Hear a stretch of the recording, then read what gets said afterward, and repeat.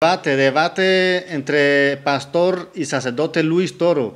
Aquí lo quiero compartir con todos ustedes este tremendo debate. La gente me juzga, me condena y me calumnia, diciendo de que yo lo que hago es pelear con los evangélicos. Yo no peleo con ellos. Yo los escucho.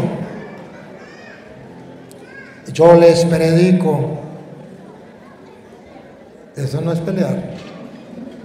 Jesucristo el Señor mandó y dijo, vayan y prediquen el Evangelio a toda criatura. Ahí estaban metidos los hermanos separados. Pero la gente que no lava ni presta la batea, dice que el Padre Toro le gusta pelear con los evangélicos. Cosa que no es. Ustedes van a ver, aquí hay un hermano, no lo conozco, no sé si él me conoce a mí, no lo conozco. Pero vamos a compartir. Y vamos a compartir la palabra del Señor. Yo no le veo problema. Me imagino que él tampoco, puesto que está aquí. Lo que sí nos vamos a enriquecer, porque vamos a descubrir que lo que enseñan los hermanos separados son doctrinas erradas, falsas, que no tienen su fundamento bíblico, sino una mala interpretación. Ustedes van a escuchar lo que va a hablar el hermano. Ustedes tienen Biblia. Van a buscar en la Biblia. Y van a escuchar lo que yo voy a decir. Y vamos a ir mirando, estudiando.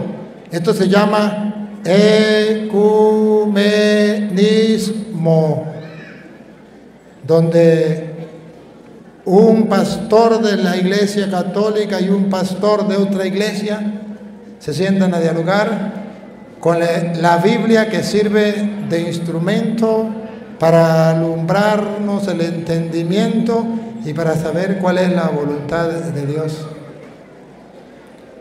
Al hermano se le va a dar la oportunidad. Aquellos que dicen que el Padre Toro no le da la oportunidad, sí le da la oportunidad. Y ustedes lo van a ver. Ustedes van a ser testigos presenciales del hecho. Y tiene que saber, hermano, que lo vamos a pasar por, por internet. El mundo entero va a darse cuenta de lo que usted va a decir. Si usted dice verdad, el mundo entero lo va a descubrir. Si usted dice mentira, el mundo entero lo va a distinguir. Bueno, vamos a comenzar, vamos a preguntarle.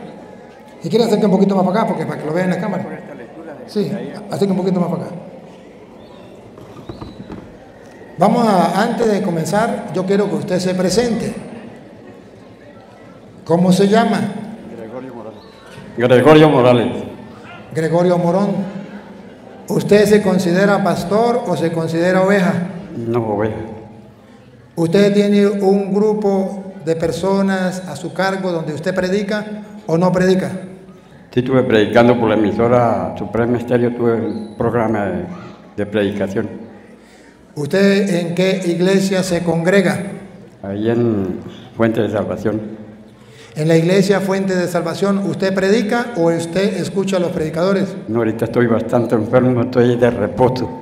Y cuando usted estaba sano, iba a la iglesia de salvación, ¿usted predicaba o usted escuchaba?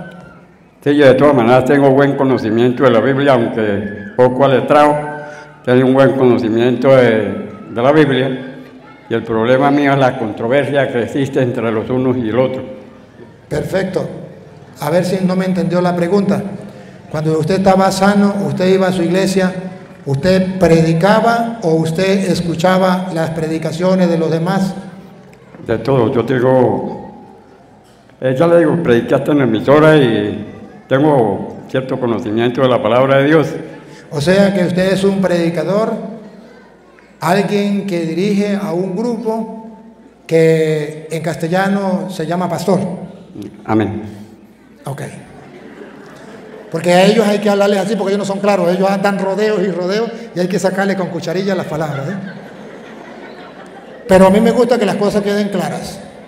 De modo que no estamos hablando con un tonto, estamos hablando con un hombre conocedor de las escrituras. Yo le voy a dar la palabra a usted para que usted me haga la pregunta o lo que sea. Pero yo necesito saber, yo no conozco la iglesia, ¿cómo aquí se llama la iglesia? Fuente de salvación. No conozco la iglesia fuente de salvación. Y hoy dimos la explicación de que hay iglesias que no son de Cristo. Y que son iglesias, y hay una sola iglesia que fundó Cristo. Ya lo mostramos. Pero puede ser que usted tenga el conocimiento pleno y yo esté equivocado. Por eso quiero que me saque de la oscuridad, que me saque del error. Usted tiene que gritarle al mundo que la iglesia fuente de salvación es la iglesia de Jesucristo. Y tiene que mostrarme en la Biblia donde dice que Cristo fundó esa iglesia. O usted me dice, no, esa iglesia la fundó Julano de tal, ¿en qué fecha? Yo necesito. Usted tiene la partida de nacimiento, yo tengo partida de nacimiento, él tiene partida de nacimiento, la iglesia católica tiene partida de nacimiento. Usted busca en el celular, hay en el celular usted pregunta a Google o a Siri, Siri, ¿quién fundó la iglesia católica? Cristo. ¿En qué año? Año 33 tiene partida de nacimiento. Pregúntenle a Siri, Siri, ¿quién fundó la iglesia Fuente de Salvación? Le dice Siri, ¿y eso con qué se come? Pero hoy el hermano nos va a mostrar que esa iglesia la fundó Cristo. O si no, nos va a decir quién fundó su iglesia. Cuando Él nos diga quién fundó su iglesia, y que nos compruebe con la Biblia, porque Él es conocedor de la Biblia, quién, este, dónde Cristo fundó su iglesia, entonces le damos la oportunidad de que haga su pregunta. Si no, pues Él no puede decir, no sé quién la fundó, no sé nada, pero yo quiero hacer esta pregunta, yo se la respondo. Los micrófonos son suyos. El mundo entero se va a dar cuenta si su iglesia es la de Cristo o la fundó un charlatán alguien por ahí que le dio la gana de fundarla porque no tenía más nada que hacer y necesitaba platica y entonces se fundó una iglesia. Pero como yo no quiero pensar así, yo le doy la oportunidad para que usted le demuestre al mundo que su iglesia es la de Cristo, quién la fundó, cuándo la fundó y dónde aparece en la Biblia. Primero eso y después me hace la pregunta. Quiero que me conteste con el... Con la Biblia sí, pero después... Pero después de que usted me responda quién fundó su iglesia y dónde aparece en la Biblia para buscarla. Gloria a Dios. Muy buenas tardes para todos. Dios los bendiga. Entonces, ya que me ha dado esta oportunidad de estar aquí, el problema mío es la controversia de una cosa con la otra. La palabra evangelio solo le pertenece a Jesucristo el único evangélico que yo conozco, santo de pies a cabeza. Él es el fundador de la iglesia llamada evangélica, el único que trajo el evangelio, lo enseñó, lo vivió, lo predicó y lo dejó para que a través de nosotros, a través del evangelio, nosotros podamos tener participación a la vida eterna. Vemos que allí en Mateo capítulo 16, verso 18, allí es donde se establece la palabra iglesia. Usted se pasea la Biblia, todo el Antiguo Testamento, y usted no va a conseguir la palabra iglesia allí en el Antiguo Testamento. Eso se llama en muchas maneras. Antes no se llamaba iglesia, habían unas iglesias que le decían que era la sinagoga y así muchas otras. Entonces, así como dijo él, tenemos, cada uno tenemos un nombre, hemos sido reconocidos de una y otra manera. Mi problema es este. Allí, cuando Jesucristo, hablando con los apóstoles, se enfrentó a Pedro y le dijo, Pedro, tú eres piedra, una roca, un pedazo de piedra apartada de la roca. Entonces el maestro le dijo a Pedro, tú eres Pedro, piedra. Dijo, sobre esta roca, que la roca es Cristo, y puedes buscarlo en el Antiguo Testamento y Nuevo Testamento, que es el nuevo pacto por el cual nosotros somos salvos, por el nuevo pacto, o sea, el Nuevo Testamento. Allí nace la palabra evangelio.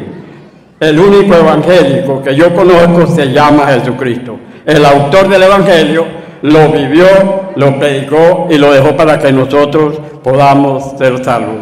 Entonces, la controversia es de que yo he paseado la Biblia buscando la palabra católico como doctrina y en ninguna parte he conseguido yo que la palabra católico tiene una entrada a la eternidad con, por salvación o cosa parecida.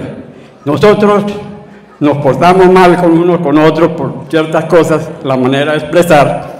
Ahora, evangelio, cada vez que se habla mal del evangelio, no hablan mal de mí, hablan mal del autor del evangelio, que se llama Jesucristo el único evangélico, santo de pies a cabeza. Evangélico quiere decir apartado del mal. Como dice la Biblia, lámpara es a, a mis pies tu palabra. Nosotros somos luz. Y por eso cualquier cosita, cuando hacemos algo malo, bueno, y usted no es evangélico. Entonces, por eso. La palabra cristiano nació después del, en el Nuevo Testamento, un año después que los apóstoles estaban predicando a Cristo allí recibieron el, nombre de cristianos. Entonces, vemos de que en la, boca de Jesucristo yo no escuché ninguna otra clase de religión que salva o que esto, sino evangelio, apartado del pecado.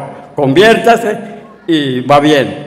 Entonces, la, la pregunta mía es si a través de la Biblia podemos empezar del capítulo 4 de Génesis hasta el capítulo 17, donde se van a terminar todas las religiones, entonces vemos allí que podemos aprender de lo que es una doctrina pagana a una doctrina, la que está en el Nuevo Testamento, que se llama apartado del mal evangélico. Entonces, la, pregunta sería esa, ¿por qué la controversia? Y cuando Jesucristo vino, nunca habló de, de la Iglesia Católica, nunca profesó de que a través de eso podemos salvarnos. Hay muchos. Ahorita mismo en el mundo se profesan más de 40 mil religiones y todo el mundo apondera a donde Él está. Es la única, la buena. Gracias. Ustedes descubrieron que habló bastante. Pero hay familia como, no sé, yo, yo imagino, o el método es el mismo de ellos.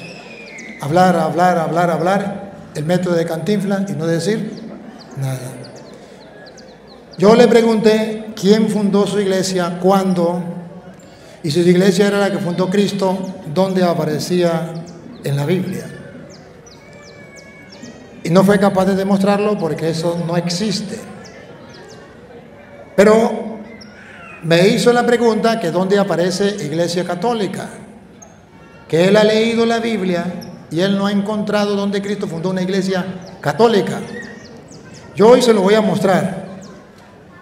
Porque resulta que a él nadie le ha dicho lo que significa la palabra católica. Entonces él se va a morir buscando la palabra católica y no la va a encontrar en la Biblia. Pero no sabe que católica significa todos los pueblos. Que Cristo fundó una iglesia que va a ir a evangelizar a todos los pueblos y eso significa católica. Que Cristo le dijo a, los apóstoles, vamos a ver, en Mateo capítulo 28, 19, al grupito de 12 que él llamó, que eso se llama congregación o iglesia, donde puso a Pedro, le dio las llaves del reino de los cielos y le dijo lo que ate quedará atado y lo que desate quedará atado, que es Pedro el jefe que Jesús dejó en la iglesia para atar y desatar con las llaves del reino de los cielos. Y entonces Jesucristo dice, Escuchen. Por tanto, id y haced discípulos. Aquí está la palabra católica. No, la doctrina, la enseñanza, lo que significa católico. Y hacer discípulos. A todas las naciones. Eso significa católica. Que la iglesia de Jesucristo es católica. Debe ir a predicar y a bautizar a todas las naciones. Pero como a él nadie le enseñó qué significa católico, él está buscando literalmente la palabra católica y no la va a encontrar. Pero como él no sabe lo que significa, va a morir en la ignorancia. O iba a morir en la ignorancia. Hoy si quiere, lo está escuchando. Marco 16, 15. La iglesia tiene que ser católica, universal, todos los pueblos, todas las naciones. Escuche. Y les dijo, id por todo el mundo. Ahí está que la iglesia tiene que ser católica, pero ahí no dice católica. ¿Sabe lo que significa católica? No, sépalo. Todo el mundo. Este, Hechos de los Apóstoles 1.8. Cuando la iglesia sale a evangelizar, ¿qué dice? Pero recibiréis poder cuando haya venido sobre vosotros el Espíritu Santo y me seréis testigos en Jerusalén, en toda Judea, en Samaria y hasta lo último de la tierra. Católico, universal, hasta lo último de la tierra. La misión de la iglesia es una misión católica, por eso San Ignacio de Antioquía, discípulo de San Juan, en el año 110, por primera vez, llamó a los cristianos Iglesia Católica. Está escrito, ustedes pueden buscar por internet, busquen San Ignacio de Antioquía, año aproximadamente 110, y ustedes buscan la carta de San Ignacio de Antioquía y va a decir, donde está el obispo, ahí está la iglesia católica, la iglesia de Cristo. Eh, cuando vino el Espíritu Santo, en Hechos capítulo 2, versículo 1 en adelante, que vino sobre la iglesia. ¿Qué iglesia? La iglesia católica. ¿Cómo sabemos que era católica? Escúchenlo. Cuando llegó el día de Pentecostés, estaban todos unánimes juntos. Lo que Jesucristo había llamado, los apóstoles, y de repente vino del cielo un estruendo, como de un viento recio que soplaba, la cual llenó toda la casa donde estaban sentados. Se le aparecieron lenguas repartidas como de fuego, asentándose sobre cada uno de ellos. Y fueron todos llenos del Espíritu Santo y comenzaron a hablar en otras lenguas según el Espíritu les daba que hablasen. Moraban entonces. Escuche porque es católica. Viene el Espíritu Santo sobre la iglesia católica. Moraban entonces en Jerusalén. En Jerusalén. Judíos. Judíos. Varones piadosos de todas las naciones bajo el cielo. Católica. Todas las naciones bajo el cielo. Tome la molestia de agarrar un diccionario y buscar qué significa la palabra católica. Todas las naciones, universal. Y si usted no quiere eh, saber lo que significa católico, pues no lo busque. Pero ahí está escrito. Él me dice a mí que su iglesia pues es la de Cristo porque es la que predica el Evangelio. Y eso era lo importante, porque Cristo trajo el Evangelio y va a predicar el Evangelio. Pero resulta que San Pablo en segunda de Corintios capítulo 11, versículo, mm, vamos a ponerle el versículo 3 en adelante, me dice que si es verdad que Cristo trajo el Evangelio, hay personas que enseñan otro Evangelio. Ponga cuidado.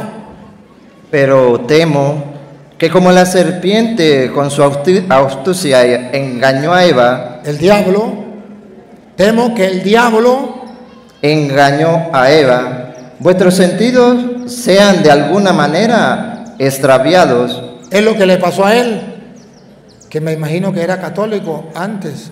¿Sí o no? ¿Usted fue católico? Sí, mi papá era Sí, era católico. Le extravió el diablo el entendimiento. Y escuche lo que viene, escuche lo que viene. De la sincera fidelidad a Cristo. De la sincera fidelidad, la que su abuelo, su abuela, tu tatarabuela, dos mil años antes de él nacer, uh, ya estaba esa doctrina, esa enseñanza de evangelio. Y escuche lo que pasa. Porque si viene alguno predicando a otro Jesús, Vean, hay gente que habla de Jesús, pero no el Jesús que está en la hostia. Pero no el Jesús que fundó una iglesia. No el Jesús que es uno con el Padre y el Espíritu Santo. No un Jesús que es Dios. No un Jesús, cualquiera puede venir explicando otro Jesús. que el que os hemos predicado, o si recibís otro espíritu que el que habéis recibido, Y escuchen, ¿por qué lo que él dice no es correcto? Porque vienen predicando otro evangelio. Escuche, u otro evangelio que, que habéis aceptado, bien lo toleráis. es lo que le ha pasado a él. Vienen predicándole otro evangelio y bien lo tolera. Eso no lo sabe él. Entonces el que le venga hablando del evangelio, eso es lo que dejó Cristo y punto. Gálatas 1, 6 en adelante. Me sorprende de que ustedes se hayan apartado de Dios. Escúchenlo. Estoy maravillado de que tan pronto os hayas, hayáis alejado del que os llamó por la gracia de Cristo ¿Para qué? para seguir un evangelio diferente. Ahí eso es lo que él no sabe.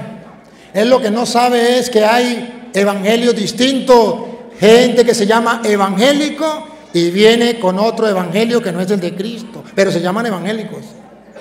Entonces, el desconocimiento de las escrituras lo lleva a decir, no, pues el que traiga el evangelio, ese es. Pero Pablo dice, pero si viene a predicarle otro evangelio, me sorprende de que ustedes se hayan pasado a otro evangelio. No que haya otro, No es que haya otro evangelio. Entonces, ¿qué es lo que pasa? sino que hay algunos que os perturban y quieren pervertir el evangelio de Cristo. No traen otra Biblia, traen la misma Biblia que la Iglesia Católica hizo. Pero quieren tergiversar, torcer el Evangelio de Cristo. El mejor ejemplo que tenemos aquí presente. Alguien que, fun- que tiene una iglesia, no me dice quién la fundó, tampoco sé quién la fundó, pero que viene enseñando otro Evangelio que no es el de Cristo. ¿Qué debemos hacer? ¿Irnos con él? ¿Hacerle caso? Vamos a ver. Mas si aún nosotros, o un ángel del cielo, Puede ser que él sea un ángel del cielo. os anunciare otro evangelio, Pero viene, aunque sea un ángel del cielo, muy santo, muy puro. Pero viene a predicarnos otro evangelio. diferente del que os hemos anunciado, A él nadie se lo dijo y el que traiga el evangelio yo le creo. Pero el que traiga un evangelio distinto al que le hemos anunciado, él era católico, le trajeron un evangelio distinto y les creyó. ¿Qué dice la Biblia que hay que hacer? sea anatema. Sea maldito significa anatema. Creer en otro evangelio no es un juego. Que él se salió de la iglesia católica, el evangelio que dejó Cristo y hice a una secta, no es un juego. Pablo dice sea anatema. Anatema significa maldito. Eso significa que no es un juego, pero él no lo sabe. Él piensa que es jugar, porque ah, el evangelio lo toman así como, como un juego. Cada quien agarra la Biblia y juega con ella. Sigue. Como antes hemos dicho, también ahora lo repito, si alguno os predica diferente evangelio del que habéis recibido, sea anatema. Lo dice dos veces. Hoy yo como sacerdote del Dios Altísimo, debo decirle a usted que el día en que usted decidió seguir otro evangelio, usted se convirtió en un anatema por haber oído a alguien que traía otro evangelio distinto al que se había predicado dos mil años. Es más todavía, a usted no le enseñaron que la Iglesia Católica fue la que hizo la Biblia y es la que tiene que guardar esa Biblia con fidelidad y enseñarle a la gente, como yo les mostré a ustedes hace rato, la doctrina, para que nadie venga a engañarnos. Entonces, a él le dijeron, el que traiga el Evangelio, ese es evangélico, ese es verdadero cristiano, no importa, no importa porque la iglesia no salva, Cristo no fundó ninguna iglesia o la iglesia católica no sé qué, eso es lo que a él le enseñaron. Pero ustedes deben saber que no es así. Ahora sí le voy a dar para que me haga la pregunta. Hágame la pregunta que usted trae, de qué capítulo y qué versículo es lo que usted quiere. Gloria a Dios. Damos gracias a Dios porque me han dado esta oportunidad.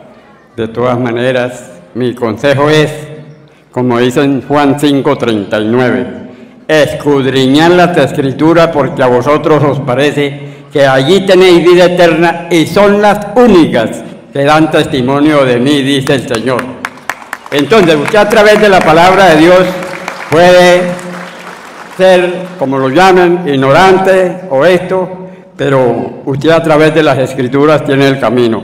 San, este, Jesucristo dijo allá en, en, San Juan 14, 6, yo soy el camino, la verdad y la vida. Nadie viene al Padre sino por mí, sino a través de Jesucristo. En Hechos 4.12 dice, está, en esta Biblia, la que llaman la Biblia católica, dice, está estipulado para los hombres de toda la tierra que no hay otro nombre bajo el cielo dado a los hombres en que podamos ser salvados. Y en San Juan 1.12 dice, más a todos los que le recibieron, a los que aceptan a Cristo. Hay de aquellos que no lo aceptan. A todos aquellos que aceptan a Cristo, Dios le da la oportunidad de volver a ser hijos de Dios. Todo el mundo dice que es hijo de Dios. La Biblia no lo aprueba. La Biblia lo aprueba es que si usted acepta a Cristo como único y suficiente Salvador, es hermano de Jesucristo. Pasa a la edad, a la vida eterna. Entonces, mi consejo es escudriñen la Biblia como le dijeron a, a Josué. No sea parte de tu boca este libro de la ley, sino que de día y de noche medite en él para que todas las cosas que emprendan le salga bien y por donde quiera que usted vaya le vaya bien. Recuerde que a ti te condena es el pecado, no, entonces trate de apartarse del pecado. Muy bien. No estamos de acuerdo, no estamos en contra de lo que acaba de decir. Estamos, a- estamos de acuerdo. Lo que sí estamos en, contra es de que él dice, Juan 5, 39, escudriñad las escrituras porque creen en ella encontrar la salvación. Ellas son las que dan testimonio de mí. Entonces, si yo leo la Biblia, ya estoy salvo. Le vaya a demostrar a él que eso es- no es así como él lo dice. Porque segunda de Pedro 1.20 dice que es un error lo que él está diciendo. Que basta con que yo lea la Biblia y ya soy salvo. Es un error. Segunda de Pedro 1.20 dice que no es así. Escúchenlo. Entendéis primero esto, que ninguna profecía de la escritura es de interpretación privada. ¿Escuchó? Ninguna escritura la puede interpretar usted privadamente, lo que a usted le dé la gana. Eso está prohibido. Sigue. Porque nunca la profecía fue traída por voluntad humana, sino que los santos hombres de Dios hablaron siendo inspirados por el Espíritu Santo. Lo que él dice no es correcto. ¿A dónde lleva la persona que como él dice, yo leo las escrituras y ya voy a la salvación porque ella me lleva a la salvación? Segunda de, de Pedro 3:16. Y para la muestra un botón, aquí está él, que es el ejemplo. Cuando la persona no hace caso de buscar quien le enseñe las escrituras y la lee por su cuenta, ¿a dónde va a parar? ¿Tenía razón Pedro o no tenía razón? Óiganlo. Casi en todas sus epístolas, hablando en ellas de estas cosas, entre las cuales hay algunas difíciles de entender, Si es verdad que hay que escudriñar las escrituras, pero en ellas hay cosas difíciles de entender. ¿Qué pasa allí? ¿Tenemos que interpretarla como a mí me da la gana? Vamos a ver. las cuales los indoctos Los ignorantes, eso significa indocto. ¿Qué hacen los ignorantes cuando encuentren esas cosas difíciles de entender? Los ignorantes, e inconstantes los que no son constantes en la fe, ¿qué hacen cuando se encuentran escudriñando las escrituras? Porque creen encontrar en ella vida eterna, pero no se dejan guiar y orientar y la interpretan como les viene en gana. Los ignorantes y los poco firmes en la fe, ¿qué hacen? tuercen, ¿Qué hacen? tuercen, ¿Qué hacen? tuercen ¿Qué tuercen? Como también las otras escrituras. Tuercen las escrituras. Es lo que a él le está pasando. Por leerla, interpretarla como a él le da la gana, al no tener el conocimiento pleno, al no dejarse guiar, al no tener firme en la fe, tuerce las escrituras. ¿Para qué? ¿Para qué las tuerce? Para su propia perdición. No dice para salvación, dice para su perdición. Pero a él el diablo le hace creer que es la salvación. Pero ¿qué dice la Biblia? La lámpara para nuestros pasos, la luz que nos ilumina, dice que es mentira, que lo engañaron, que no va a la salvación, que para ir a la salvación no puede interpretarla por su propia cuenta, porque hay cosas difíciles de entender que lo pueden llevar a torcer las escrituras y ir directo a la condenación leyendo la Biblia. De modo que no hay todo aquel que traiga la Biblia y no todo aquel que, lleve, que lea la Biblia va directo a la salvación como él dice. Eso es falso. Pruebas tengo. Sigue. Así que vosotros, oh amados, Nosotros los católicos, o amados, sabiéndolo de antemano, sabiéndolo de antemano, porque se lo estoy mostrando con capítulo y versículo, guardaos, no sea que arrastrados por el error de los cuidado, guardado, cuídense.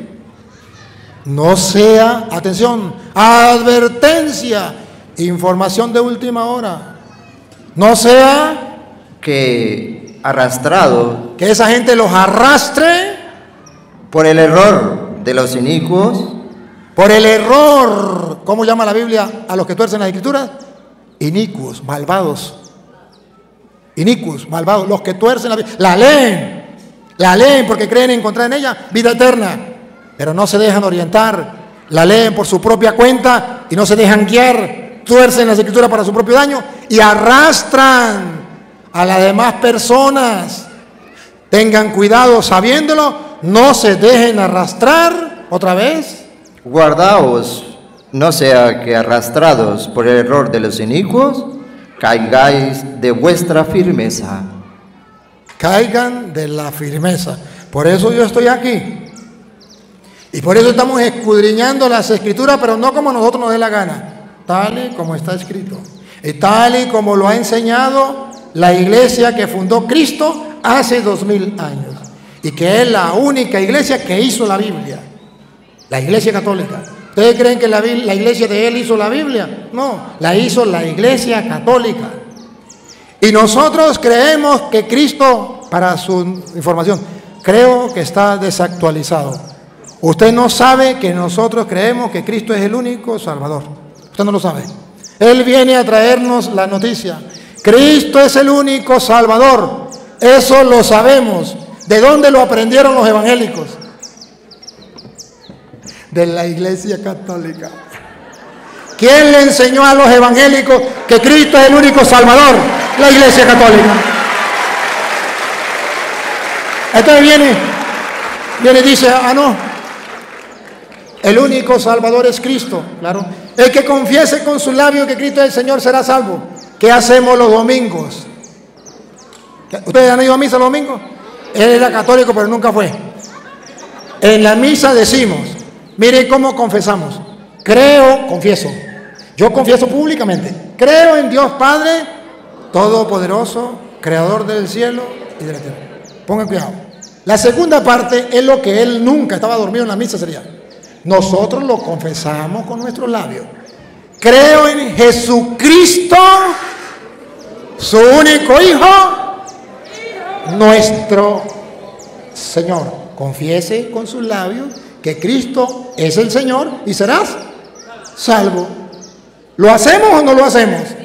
Para ellos no, porque ellos viven de mentiras.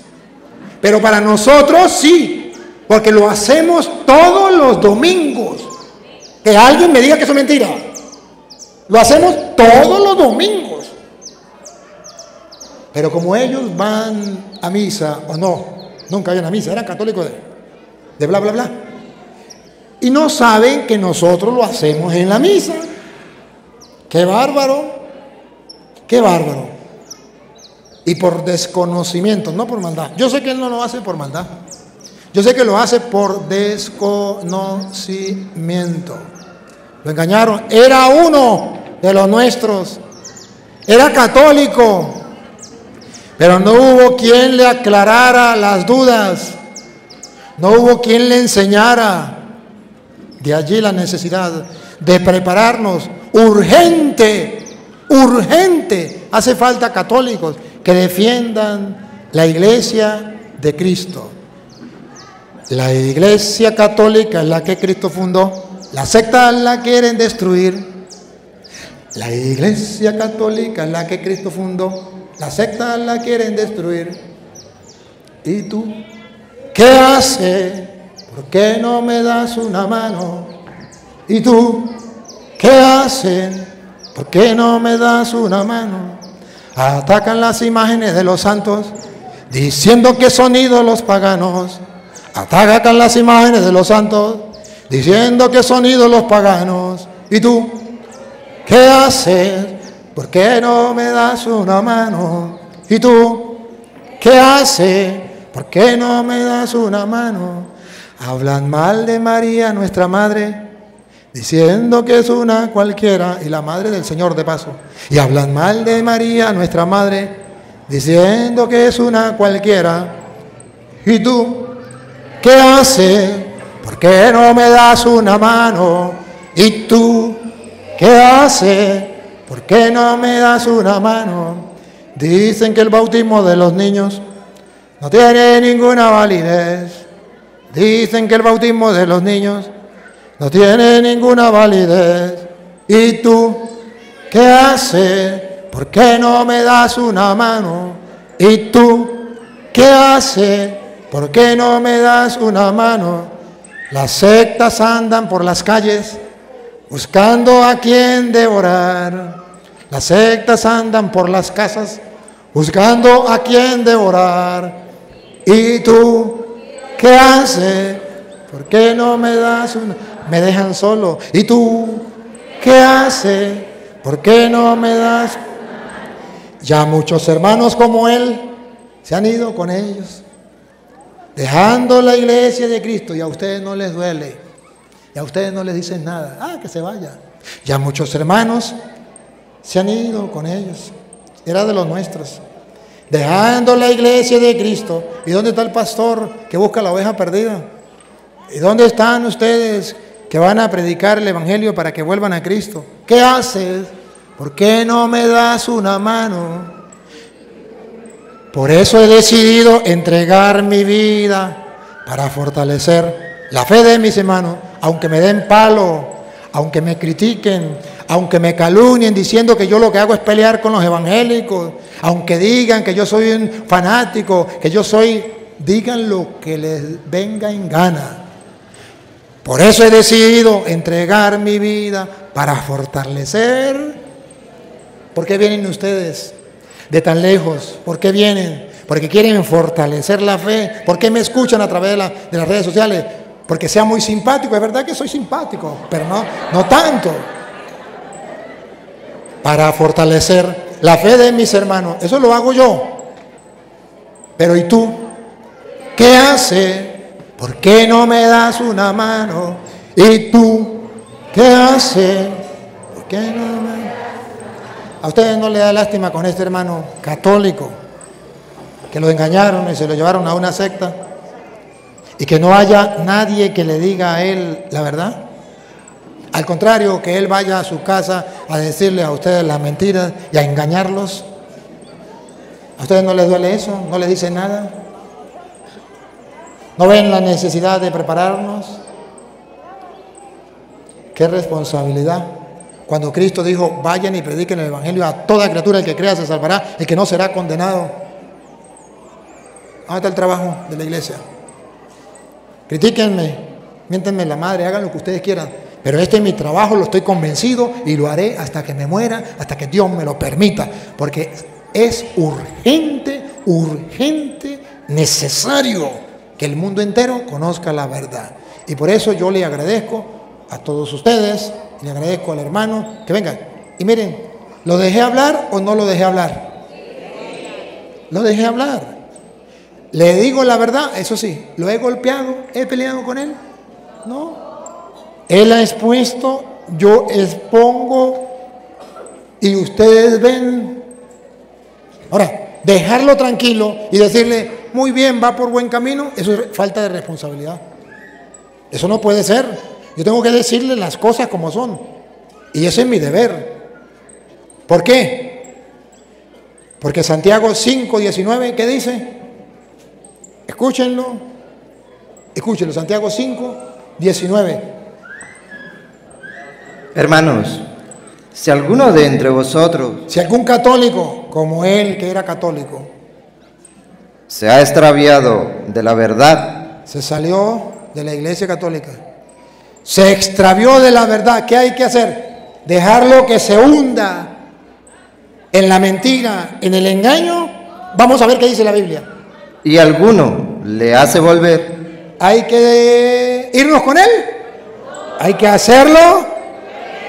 ¿Y dónde está la gente que los quiere hacer volver a él? Nada. Ahí está el problema. Ahí está el problema. Y si alguien lo hace volver, vamos a ver si dice que falta de caridad, falta de tolerancia. Es un pecado. Vamos a ver. Si alguien lo hace volver, sepa sepan que no es un pecado, pongan cuidado. Sepan que no es falta de tolerancia, que no es falta de amor. Sepan que el que haga volver al pecador del error, Es un pecado salirse de la iglesia de Cristo. Salirse de la verdad es un pecado.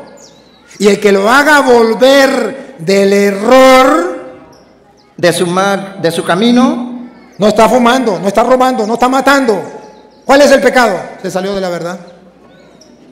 Porque él dice que el que haga el bien y que se aparte del mal.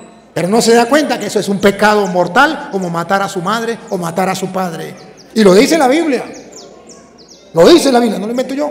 Ahorita se lo muestro donde lo dice. Que es un pecado lo que él cometió. Mortal.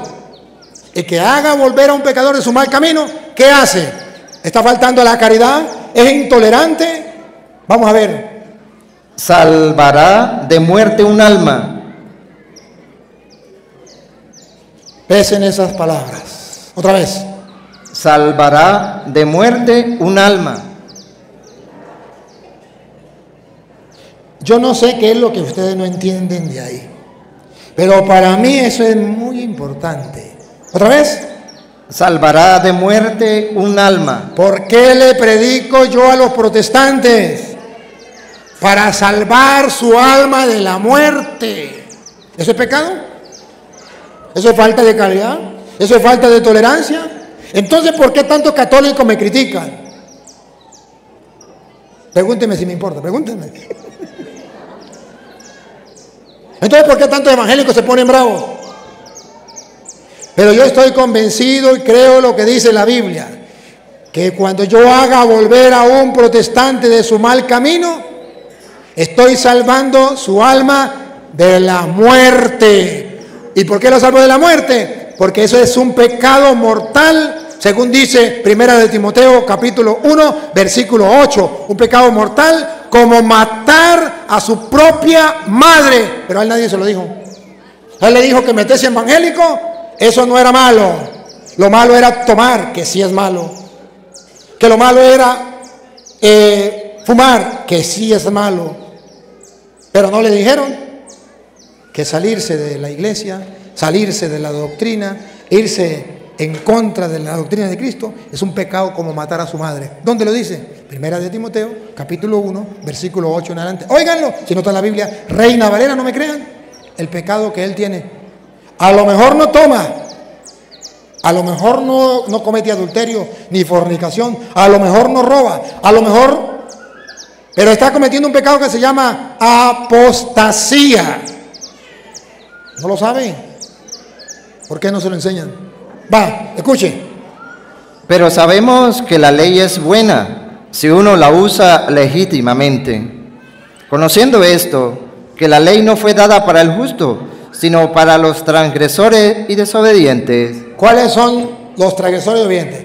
Da una lista de pecados. ¿Cuáles son? para los impíos Impíos y pecadores. y pecadores. ¿Qué clase de pecado? Comienza a nombrarlos. Yo le pongo la lupa cuando vean el pecado del hermano, que no es matar, que no es robar, porque no mata ni roba. Le voy a mostrar cuál es el pecado del que Pablo dice que hay que sacarlo. Va, Para los irreverentes y profanos. todavía eso él no lo es. Para los parricidas. ¿Qué es parricida? El que mata a su propio padre. Él no lo ha hecho. y matricidas. El que mata a su propia madre, él no lo ha hecho. Pero mire, que son pecados, no estamos hablando de pecados pequeños, estamos hablando de pecados que llevan a la condenación del alma. Siga. Para los homicidas. Para los fornicarios. Para los sodomitas. A él le enseñaron solamente estos pecados. Eso sí lo sabe él. Estos pecados sí lo sabe él. Sabe que eso es pecado. Pero él no sabe que salirse de la doctrina, estar en contra de la doctrina de Cristo, es un pecado. No lo sabe. Pero hoy lo va a saber. Vamos a ver. Para los secuestradores. Miren qué bárbaro los secuestradores, Para los mentirosos para los mentirosos, y perjuros. Y para cuanto se oponga a la sana doctrina. Ese es su pecado y no debe morir en la ignorancia. Alguien por amor tiene que decirle que si usted se opone a la sana doctrina de Jesucristo, es un pecado mortal como matar a su madre, matar a su padre, aunque no tome, aunque no baile pegado, aunque no fume, pero se salió de la iglesia de Cristo, de la doctrina de Cristo, y eso es un pecado mortal, y ustedes y yo tenemos que hacerlo regresar para que salve su alma. ¿Lo ven o no lo ven?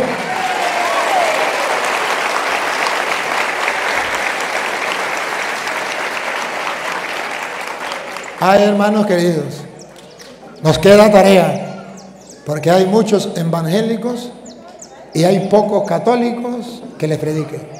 Incluso hay obispos y sacerdotes con el respeto que merecen, porque son nuestros pastores. Lejos de mí querer faltarles el respeto. Pero ¿qué dicen?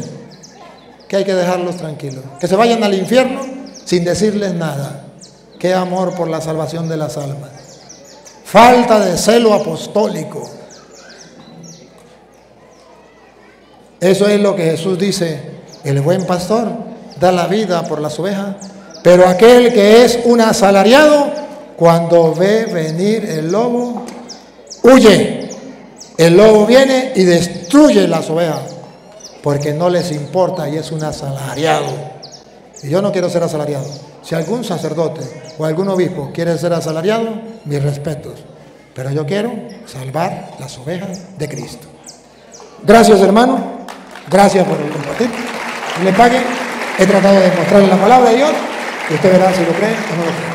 Si hay otro hermano evangélico que quiera hacer otra pregunta, ya le respondí a su pregunta.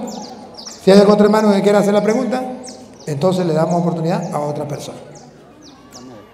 Se va a despedir. Dios lo bendiga. De una manera especial doy gracias a Dios porque el deber de cada persona, estamos en iguales condiciones. Cada pastor tiene que vigilar su, su- iglesia. Entonces, pues, han escuchado la palabra de Dios, gloria a Dios por eso. Yo le doy gracias a Dios por todo lo que puso en mi mente, ya que tengo conocimiento de 31 mil versículos que tiene la Biblia, los estudio, le pregunto a Dios qué debo hacer. Le tengo miedo al pecado. Entonces, ustedes han escuchado por boca de Él lo que es la palabra de Dios, el deber que Él tiene con todos ustedes, porque Él tendrá que entregar cuenta un día a Dios por cada uno de ustedes. Entonces, doy gracias a Dios porque la Biblia nos dice que nosotros tenemos que hacer lo que Él nos mandó. Como maestros, enseñar lo poco, mucho que sabemos. Y entonces, para mí ha sido de gran bendición eh, estar aquí con ustedes. Le doy gracias a Dios y seguiré pidiendo por Dios que Él le dé mucha más sabiduría que Él necesita para guiar una grey, para guiar una iglesia. Así que Dios los bendiga en esta tarde y les deseo muchas bendiciones. Dios te bendiga. Adelante, atrás no te agarran Otro que quiera preguntar. Si hay otro hermano que no sea de la iglesia católica, otro que no sea de la iglesia católica y quiera compartir, no importa que no sea pastor, puede ser una oveja y que quiera hacer preguntas. ¿Hay alguna pregunta que tenga que algún evangélico haya hecho y está escrita? Venga, venga. Hay un hermano que no es de la iglesia católica, pero mandó a hacer la pregunta. Eso también es válido. Contale la escuche. La pregunta del hermano protestante es la siguiente. María tuvo más hijos porque en la boda de Canaán le dice a Jesús que afuera está su madre y sus hermanos. Bien, voy a tratar de responderle con sencillez. Voy a tratar de responderle con sencillez a esa persona. Si María hubiese tenido más hijos, la Biblia hubiese presentado a María y a José con todos los niños. A ver, por ejemplo, cuando los reyes magos en Mateo capítulo 2, versículo 11, visitan al niño Jesús, estaba María y el niño. No había más hijos. Escuchen. Y al entrar en la casa, vieron al niño con su madre María y postrándose lo adoraron. Perfecto. Ahí está María y el niño. Los evangélicos entonces me van a decir, pero ahí el niño estaba chiquito, todavía no había oportunidad de nacer. Los otros hermanos. Perfecto, perfecto. Ahora, ¿qué tal cuando más adelante, allá en el versículo 16, Viene a decir que los reyes magos, ¿se acuerda que los reyes magos se fueron por otro camino porque no querían que Herodes matara al niño, porque Herodes iba a matar a los niños? ¿Se acuerdan? Vamos a ver qué dice el 16. Herodes entonces, cuando se vio burlado por los magos, se enojó mucho y mandó a matar a todos los niños menores de dos años que habían en Belén y en todos sus alrededores, conforme al tiempo que había inquirido de los magos. ¿Por qué mandó a matar a niños menores de dos años? Porque averiguó el tiempo según le había dicho los magos. De modo que cuando Jesús tenía dos años, entonces tuvo que huir la Virgen María con San José a Egipto. Y vamos a ver si huyó con el niño y con, nosotros, con otro hermano, porque tiene dos años, la mujer judía paría cada cuánto? Todos los años. Ella no, ella no, pierde tiempo. Todos los años. Cuando tuvo que huir, vamos a ver si, si ya tenía dos años Jesús. Vamos a ver qué pasó. Entonces se cumplió lo que fue dicho por el profeta Jeremías cuando dijo, voz fue oída en Ramá. Póngalo ahí en el, como en el 19 o 20.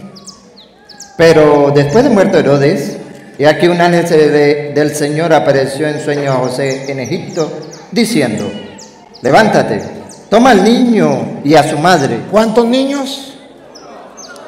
Toma al niño y a su madre y vete a tierra de Israel. ¿Cuándo se lo dijo? ¿Cuándo qué? ¿Otra vez? Al comienzo. ¿Cuándo dijo? Levántate. ¿Cuándo dijo? Lo que comenzó. Pero después de muerto Herodes, un dato, un dato, se llevó al niño a Egipto y estuvo allá hasta la muerte. A los dos años se fue, no tenía niños. Hasta la muerte de Herodes, Herodes muere dos años después que Cristo estaba, eh, después que Cristo lo había buscado para matarlo. ¿Tenía Jesús? Cuatro años. Y después de la muerte de Herodes, que tenía cuatro años, ¿cuántos niños tenía que tener María? Cuatro. Jesús más tres más.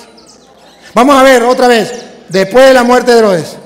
Pero después de la muerte de Herodes, cuatro años tenía Jesús. Y aquí un ángel del Señor apareció en sueños a José en Egipto, diciendo, levántate. Levántate, vamos a ver cuántos hijos tenían toma al niño y a su madre. ¿Y dónde están los otros? Ya son cuatro años. Debería, ah, o lo dejaron en la casa durmiendo, lo dejaron en, allá, se fueron para Egipto solo y lo dejaron allá con la abuela, ¿sería?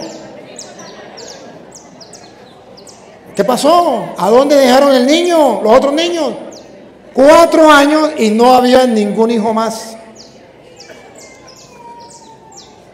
Ahora, ¿se acuerda que Jesucristo, según dice Lucas 2.41, un día se perdió en el templo y lo encontraron? ¿Cuántos años tenía?